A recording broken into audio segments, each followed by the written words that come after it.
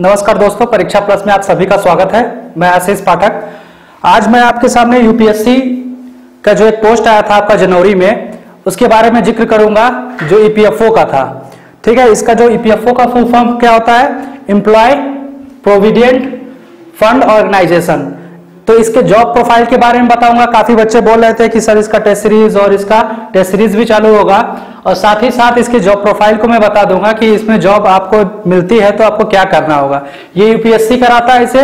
UPSC आपका एक तो सिविल सर्विसेज़ के बाद दो ऐसे एग्ज़ाम बीच बीच में कराता रहता है, जैसे आपका असिस्टेंट कमांडेंट का हुआ। उसी प्रकार से ये भी एक दो साल में नोटिफिकेशन निकालता है। ईपीएफओ का भी 17 या 18 में शायद नोटिफिकेशन आया था।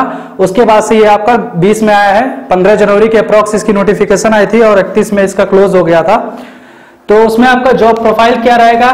कौन से पोस्ट के लिए था? पोस्ट था आपका ईओ और एओ ईओ क्या है? इंफॉर्मेंस इंफॉर्मेंसमेंट ऑफिसर और एओ क्या है? अकाउंटेंट ऑफिसर ठीक है? तो ईओ का जो पोस्ट है आपका, ये क्या होता है? फ़ील्ड जॉब होती है। और एओ का क्या है? अकाउंटेंट ऑफिसर ये आपका डेस्क जॉब है।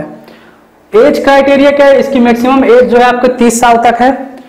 इसमें आपको क्वालिफिकेशन क्या चाहिए? आपका सिंपल ग्रेजुएट होना चाहिए। और इसका सिलेक्शन प्रोसेस क्या है? सिलेक्शन प्रोसेस आपका एक रिक्रूटमेंट टेस्ट होगा, जिसके बेसिस पे आपका सिलेक्शन होगा।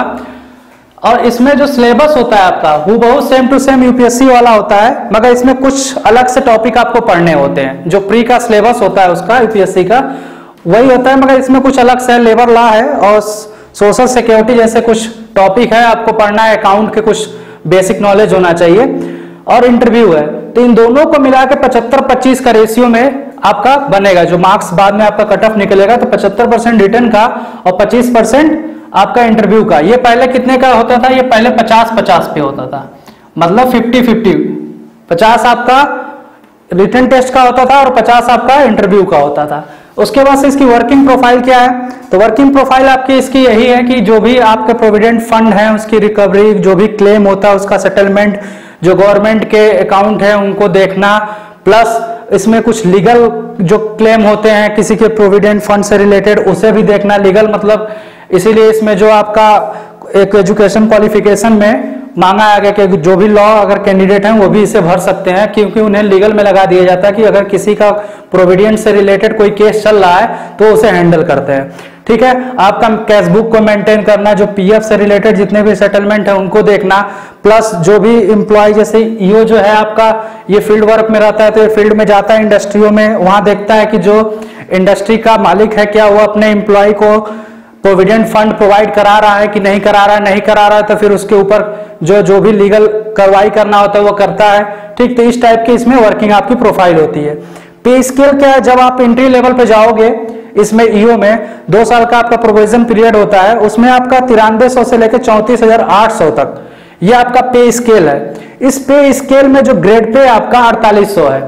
इस अड़तालीस सौ ग्रेड पे है तो ये आपका बेसिक है, इसमें ये जुड़ेगा तो आपका बेसिक सैलरी बनेगा। तो ऑन अप्रोक्स जो आपको, जो दो साल में आपको मिलेगा, दूसरे मतलब ट्रेनिंग पीरियड में, वो आपको ये समथिंग सैलरी मिलेगी, तिरपन हज़ार के अप्रोक्स सैलरी मिलेगी। उसके बाद से इसमें पोस्टिंग कहाँ होती है इसकी? पोस्टिंग आपका जो भी रीजनल ऑफ़िस होता है पीएफओ का, वहाँ पे इसकी पोस्टिंग होती है। उस, ये देख, देखिए, दो जॉब है इसमें ई और एओ आपको जब जाएँगे सिलेक्शन के बाद तो वो डिपेंड करता है आपको कहाँ पे मतलब फ़ील्ड वर्क में रखता है या डेस्क जॉब में रखता है। उसके बाद से इसके प्रमोशन पीरियड है। प्रमोशन में आपका कैसे कैसे होता है, ये देखिए, जब आप बेसिक पे जाओगे तो इंफॉर्मेशन ऑफिसर और एओ का पोस्ट संभालोगे। उसके बाद से चार साल में, ठीक है, चार साल आपके लग जाएँगे यहाँ पे असिस्टेंट पीएफ कमिश्नर बनने में आपको।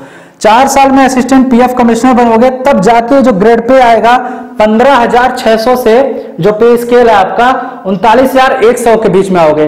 और यही जो आपका पे स्केल जो होता है, वो किसका होता है? अभी जो एसडीएम का होता है और सेम डिप्टी एसपी का होता है, ये पे स्केल होता है। तब जाके आप लोग उसके बराबर होंगे, ठीक है? इस स्केल पे पहुंचोगे चार पाँच साल आप जॉब कर लोगे तब। उसके बाद से ये आपका रीजनल पीएफ कमिश्नर बनता है। ये भी कम से कम चार से पाँच साल लगते हैं इसमें। फिर पीएफ रीजनल के बाद ये भी सेकेंड ग्रेड ठीक है? रीजनल पीएफ कमिश्नर सेकेंड उसके बाद रीजनल पीएफ कमिश्नर फ़र्स्ट बनता है। इसमें क्या होता है, आपका पे स्केल सेम रहेगा, मगर ग्रेड पे चेंज होता जाएगा। यहाँ चौवन सौ ग्रेड पे की जॉब हो जाएगी और यहाँ पे छाछठ सौ ग्रेड पे की जॉब होगी छिहत्तर सौ ग्रेड पे हो जाएगा। आप जब पीएफ कमिश्नर वन बन जाएँगे। और सबसे ऊपरी पोस्ट जो होती है, इसकी ये क्या होती है एडिशनल सेंट्रल पीएफ कमिश्नर, ठीक है? तो इसका जो पे स्केल है वो बदल जाता है। अभी तक पंद्रह हज़ार छह सौ पे थे, अब पे स्केल जो है सैंतीस सौ से sixty seven thousand eight hundred पे आ जाता और ग्रेड पे सत्तासी हो जाता तो ये इस जॉब का सबसे ऊपरी पोस्ट यही है, एडिशनल सेंट्रल ठीक है, पीएफ कमिश्नर। मैं इसका आपको पूरा का पूरा बताऊँगा कि सिलेबस क्या है और कैसे कैसे क्वेश्चन आता है, किस किस पार्ट से कितना क्वेश्चन आता है अगले वीडियो में। तो आप लोग ये जॉब प्रोफ़ाइल है पूरा का पूरा ईओ का और ईओ का। आप इस वीडियो को शेयर करिए लाइक करिए और सब्सक्राइब कर लीजिए चैनल को।